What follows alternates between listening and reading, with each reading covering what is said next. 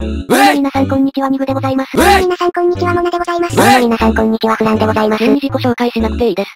今回もマインクラフトやっていきましょう。早速ですが新アイテムを、ダイヤ、黒曜石、レッドストーンで。はい、レーザーです。これは何に使うんだ？これはビルドクラフトの特殊なアイテムを作るときに使います。レーザー作業台も作りまして、完成しました。まさかの QP 方式。エネルギーは石エンジンを使っています。とりあえずお休みなおはようございます。急にスピーディーになり始めた模様。しかしいささかレーザーでできるチップができるのが遅いので、新しいエンジンを作りましょうか。木の歯車、ピストン、ガラス、木材で。木のエンジンの完成。32倍まで圧縮しました。早速設置していきますか。32倍でどのくらいの作業効率になるのか。赤から黄色、緑に変わったね。どうやら結構出力は高いらしいですね。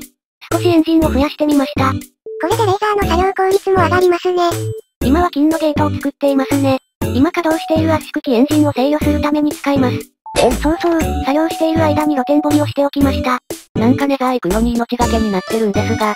どうしたんですか牛さん。こんなところにいると落ちてしまいますよ。ふむふむ、なるほど。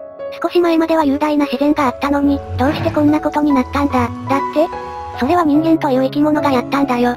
僕もこんなことになって許せない。二人で力を合わせて人間を倒そうじゃないか。そうだ、君ならできる、絶対に。え、どうして穴の方に押しているんだ。だっていやいや、そんなことないよ。自分は牛さんを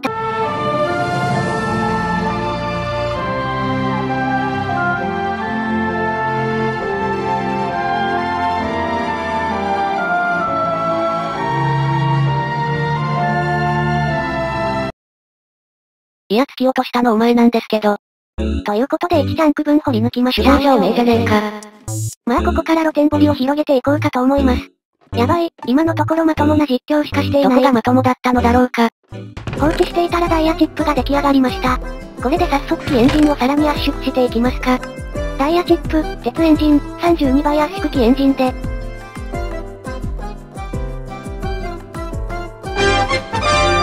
128倍圧縮機エンジンの完成。その名の通り、機エンジン128個分の出力を持ちます。けどどうして今になって圧縮機エンジンを？それはこれから作るある機械を動かすためですね。レッドストーントーチ、ラキスラズリで範囲マーカー。ダイヤピッケル、ダイヤの歯車、金の歯車、鉄の歯車、レッドストーンで。範囲採掘機の完成。公式も認めているのか。ということで整地しました。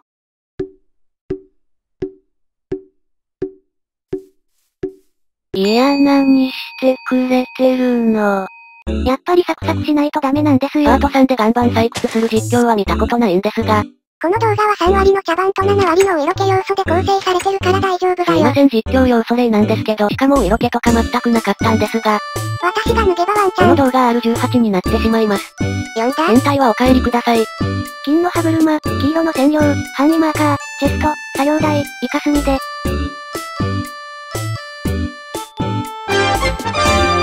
簡易建築機の完成。通称フィラーですね。調べたところ特定の範囲を整地したりブロックを設置したりできるぞ。これで岩盤丸見えの地面をきれいにしようという算段ですよ。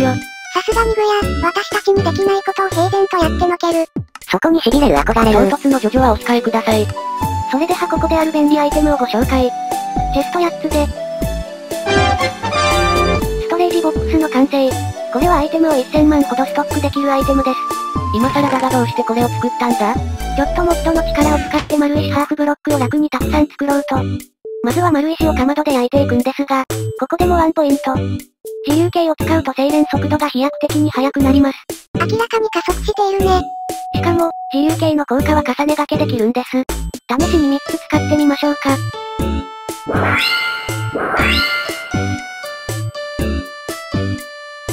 かもう、早すぎるんですが、これが錬金術の実力ですよ。